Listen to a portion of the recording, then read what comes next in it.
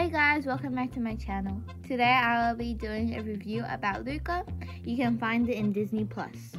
It is a lovely movie. It teaches us about friendship and family. Also, Luca reaches out for his dream of going to school. If you're wondering for how long it goes for, an hour and 41 minutes.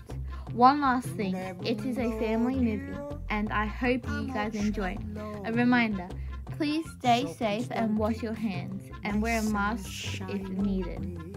Okay, please subscribe and hit that bell. Bye guys.